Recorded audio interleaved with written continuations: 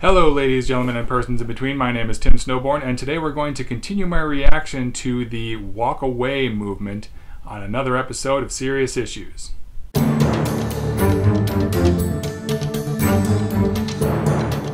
So, last time I gave you my initial reaction to the video, we kind of watched it together and I commented on it here and there. Today, I'd like to go deeper into my thoughts on the video as a whole.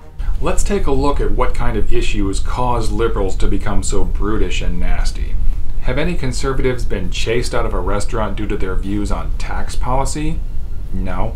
Have any conservatives ever been assaulted for their views on campaign finance reform? Uh-uh. Have any conservatives ever canceled a speaking engagement at a university because of protesters outside decrying their position on health care? No, I don't think that's happened. Here's what gets liberals riled up racism, sexism, homophobia, and xenophobia. Understand that the vast majority of the contempt by the left toward the right is a response to discrimination by the right. We believe that everyone should be treated equally and fairly, and when we see people not being treated equally and fairly, that tends to get under our skin. We believe that if you can't be nice to someone, leave them alone. If you can't leave them alone, we're going to have problems. If you have a problem with gay people, leave them alone. If you have a problem with non-whites, leave them alone. If you have a problem with women, leave them alone. If you have a problem with religious minorities, leave them alone. If those on the right would learn to leave people in these marginalized groups alone, we would get along fine. We wouldn't have a problem. But you don't get to assault and murder racial minorities and enact legislation to discriminate against the LGBT community and then act like you're the victim when we defend ourselves against you. You hit me, I hit you back. You hit my friend, I hit you back. The whole reason I was inspired to make this video is because I know that right-wing spin doctors like Straka are very good at crafting narratives that make them look like the victim and us look like the bullies. You don't get to sit there and act like you didn't throw the first punch. You don't get to act like you were just innocently expressing an alternate point of view and you did nothing to deserve this. If you want to have a conversation about tax policy or trade or healthcare or education reform or campaign finance reform, let's do that. But there are some things that are just plain off the table and those things involve treating other groups of people like second class citizens. I'm content to agree to disagree and let you have your opinion when your opinion is something like tax cuts create jobs. We can agree to disagree on that. But when your opinion is something like border crossers deserve whatever punishment the Border Patrol gives them, or healthcare providers should be allowed to deny treatment to LGBT members based on their religion, then I'm inclined to do a little more than just disagree with you. The Trump administration is now arguing that healthcare providers should be allowed to refuse care to LGBT members based on their religious convictions. So again, it kind of puzzles me how a gay man like Straka could support the GOP. There's no contradiction between being gay or a racial minority or a woman or a religious minority and believing in low taxes on the wealthy and small government. What puzzles me is why any of them would be Republicans, given how Republicans have and still do treat people in those groups. It doesn't surprise me that some African Americans are conservative, but I don't know why they would join the GOP when every time a black person is murdered by the police, white people on the right just make excuses as to why the guy probably deserved it.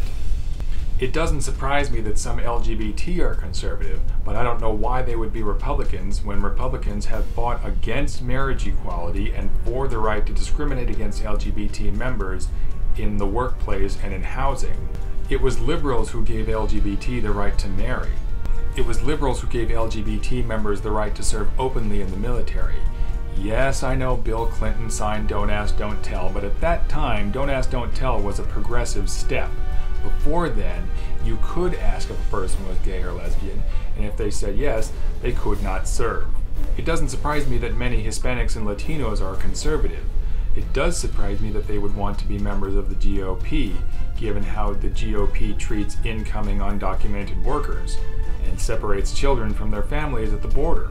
Right now, Donald Trump is the leader of the GOP, and his administration is instituting policies to kick immigrants out even if they've served in our military. People who put on the uniform and served our country, even though it wasn't their country at the time. They're kicking veterans out. They're also removing protections for transgendered troops and students. And we're supposed to believe that the right is more tolerant and accepting? Again, the people on the right who are being chased out of restaurants and shouted down and booed off stage are not innocently expressing an alternate point of view. They are expressing discrimination against groups of people who do not deserve it. If your policies and your rhetoric encourage people to treat others as second class citizens and discriminate against them, I'm not going to apologize for fighting back against you. By the way, this whole walk away business, that door swings both ways.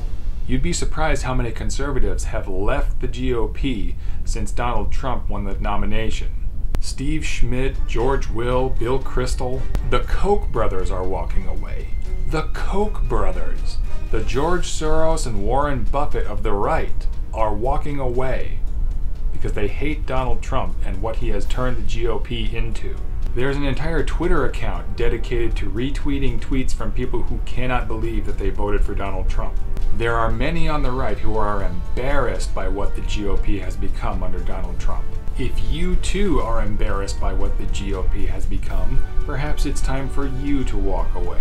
Oh, and in case you missed it, it turns out most of these walk away ads are fake. They're made using stock images and fake quotes. And the walk away hashtag is the third most commonly used hashtag by Russian propaganda bots online. So, yeah, as I said, you don't get to sit there and act like you didn't throw the first punch. You did throw the first punch.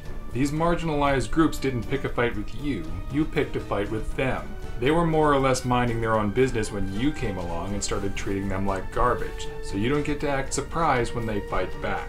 Alright, that's enough of that. Uh, I'm sure I don't have to tell you to leave your thoughts in the comments below. I look forward to reading those. If this is your first time on my channel, welcome. It's great to have you here. I hope that you will subscribe and join me for future conversations and check out my previous videos for more. If you're a current subscriber, welcome back. It's lovely to have you tuning in again. I really appreciate your continued support. Thank you very much. Until next time, take care everyone.